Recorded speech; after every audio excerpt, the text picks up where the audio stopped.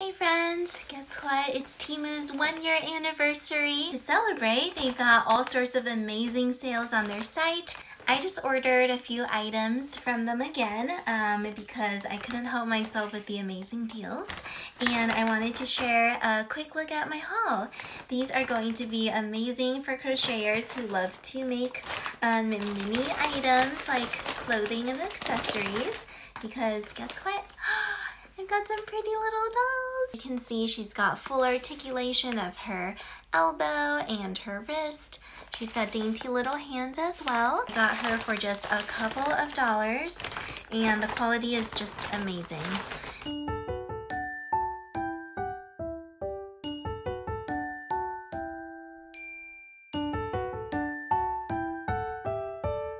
Here is her male counterpart.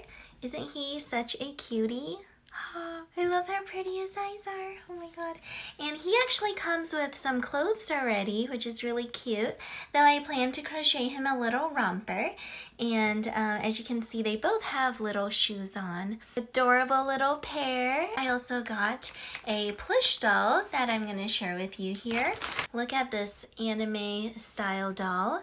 She's got the prettiest eyes and I love that um, this is like a blank canvas for you to play with because her hair is um, ready to be styled.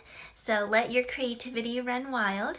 I'm thinking of playing hairdresser here and giving her some bangs. I love that her material is plush and cloth, but she's also quite firm and rigid.